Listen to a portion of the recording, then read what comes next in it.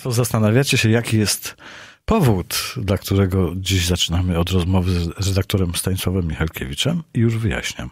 27 lutego 1990 roku Polska i Izrael wznowiły po 23 latach stosunki dyplomatyczne. No, gdybym był złośliwy, to bym powiedział, i po co nam to było? Prawda? Gdybyśmy nie mieli stosunków dyplomatycznych, to e, Ministerstwo Sprawiedliwości nie konsultowałoby nowelizacji ustawy o Instytucie Pamięci Narodowej z ambasadoressą izraelską. Ona nie ograłaby naszych umiłowanych przywódców jak dzieci, no i nie byłoby tego klangoru e, i Polska teraz nie musiałaby e, uzgadniać treści nowelizacji, nowej nowelizacji ustawy o, Inter o Instytucie Pamięci Narodowej z władzami Izraela. Y, no tak to wygląda wstawanie z kolan. Powiem tylko tyle, że żeby wstać z kolan, to trzeba najpierw na nie paść. No i właśnie padliśmy. No to, tak jak z Rosją, o której mówi się, że Zachód chce rzucić Rosję na kolana, a ona ani drgnie, bo jak leży. O, z Rosja, tak to, to, Rosja to trochę inna sprawa, bo Zachód y, tak chce rzucić Rosję na kolana, ale y, właściwie nie wszyscy mają ten sam cel w tym rzuceniu na kolana, bo Y, no jakby rzucili Rosję na kolana, to y, usta Putina by się przybliżyły do y, ust korali innych przywódców zachodnich, więc to niekoniecznie musi być... Metoda usta-usta. Tak, niekoniecznie muszą to być złe intencje, bo to są takie karesy. Tyle tylko, że przykrywane przed opinią publiczną, żeby opinia publiczna no nie, tak nie od razu poznała prawdę w całej jej bezwstydnej nagości bo wtedy mogłaby dostać wstrząsu. Y, no a jak opinia publiczna doznaje wstrząsu, to nigdy nie wiadomo, z czym to się skończy. Więc na wszelki wypadek uważają.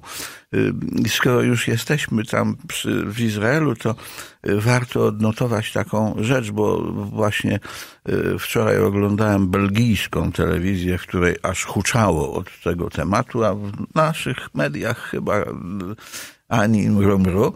Y, otóż...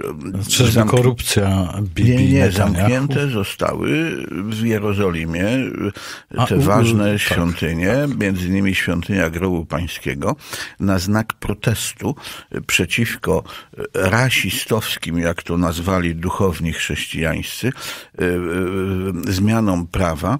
Mianowicie władze Izraela pracują nad ustawą, która ma opodatk- zmierza do opodatkowania kościołów chrześcijańskich. No i przewiduje taką możliwość, że w razie po, powstania zaległości podatkowych będą po prostu te kościoły konfiskowane.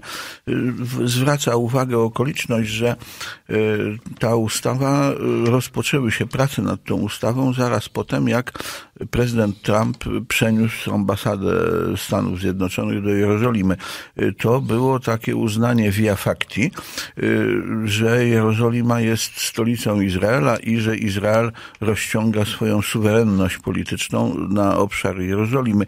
To jest sprzeczne ze stanowiskiem społeczności międzynarodowej, również stolicy apostolskiej, e, która stoi na stanowisku e, konieczności utrzymania międzynarodowego charakteru Jerozolimy, właśnie ze względu na obawę, że jak Izrael będzie miał wyłączną suwerenność, e, to stabilność, do, znaczy dostęp chrześcijan do tych świętych miejsc może zostać ograniczony. No i właśnie to widzimy. Więc, Co się stało. Tak, więc to jest tak. bardzo ciekawa sytuacja. To, że w naszych mediach Y, taka dyskrecja na ten temat chwalebna panuje, no to świadczy o tym, że y, podlizujemy się jak tylko możemy. Y, no i to wskazuje na specjalny charakter stosunków polsko-izraelskich. W naszych mediach ogólnie panuje dyskrecja na temat tematów izraelskich. Na przykład mało mówi się o kłopotach premiera Bibiego Netanyahu, o pomysłach jego żony Sary e, i o całej aferze korupcyjnej, która wokół rządu izraelskiego i partii Likud coraz mocniej się rozkręca.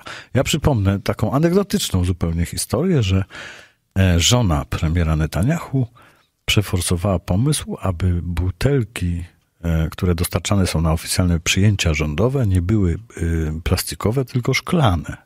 Potem Zapobiegliwa pani Sara i jej rodzina zbierają te butelki i sprzedają do skupu.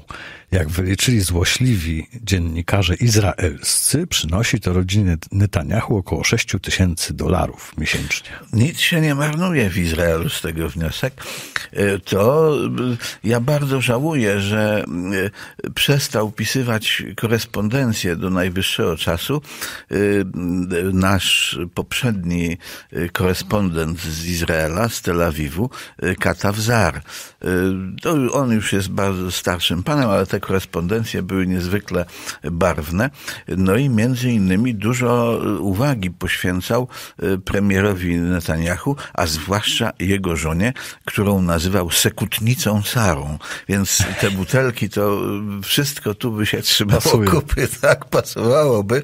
No, bo ogromnie żałuję, że Katawzar przestał przesyłać nam te korespondencje.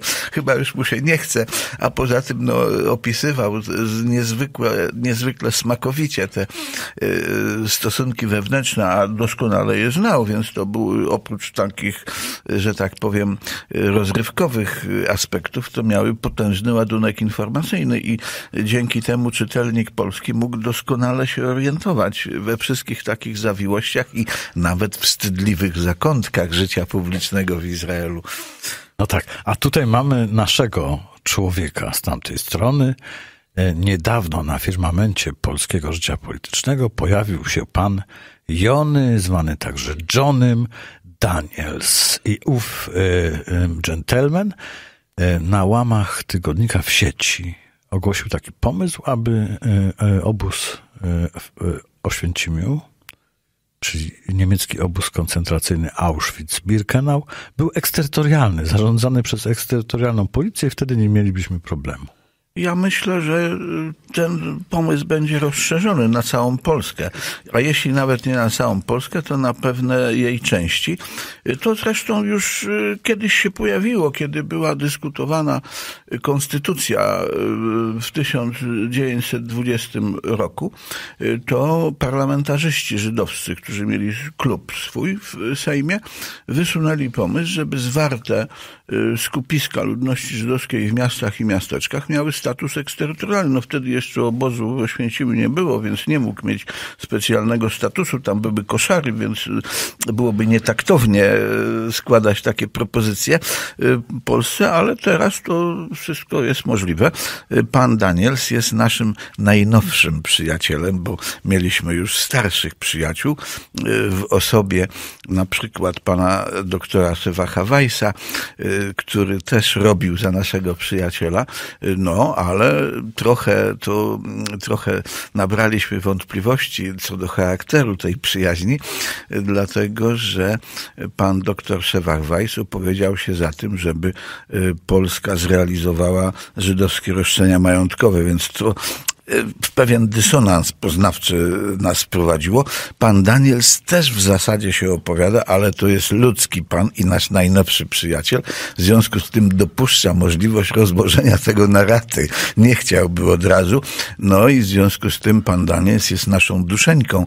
To jest, muszę powiedzieć, taki typowy przykład kariery nikodemadyzmy w naszym nieszczęśliwym kraju, to zawsze musi się trafić jakiś taki dżentelmen, który tutaj e, powtarza ten schemat kariery nikodemadyzmu i teraz akurat na pana Danielsa trafiło.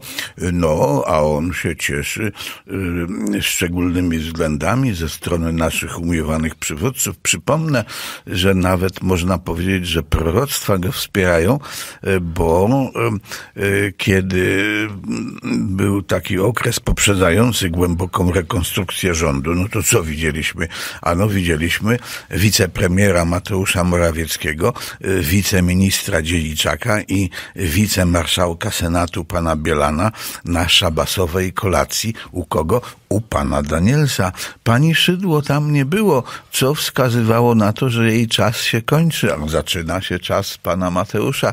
No i wszystko się sprawdziło. Naczelnik naszego państwa zarządził zgodnie z tymi preferencjami, więc jak będzie e, następna szabasowa kolacja u pana Danielsa, to ja bym specjalnie obserwował, kto tam został zaproszony i gdzie siedzi, na którym miejscu siedzi, bo można wtedy na tej podstawie wydedukować sobie, czyje akcje idą w górę, a czyje spadają w dół.